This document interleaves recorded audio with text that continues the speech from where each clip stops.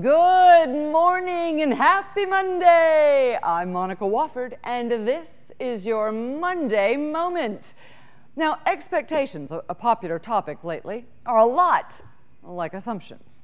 Everyone's got some, and rarely, rarely are any of them exactly the same or even accurate. But in the role of leader, this deserves a little extra attention.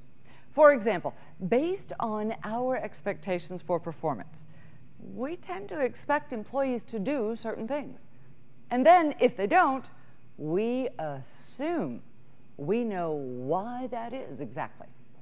Then, with our own expectations, our own assumptions, and what we believe is the why for their less than stellar performance, we have a tendency to talk at those we lead in an effort to fix the problem so many things wrong with this leadership interaction and equation, but a very common situation, and I've done it. We've all done it at various stages and seasons of our career.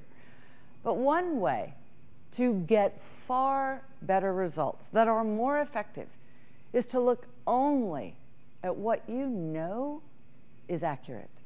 Your expectations and whether or not that person met them, period. So approach an employee with what you know to be true. Then seek to uncover their motive with some questions. Being the leader who solves the problem is much easier when you're not assuming you know all the reasons for its existence without ever even asking. I'm Monica Wofford, and that's your Monday Moment. We'll see you next week for more Talk on Leadership.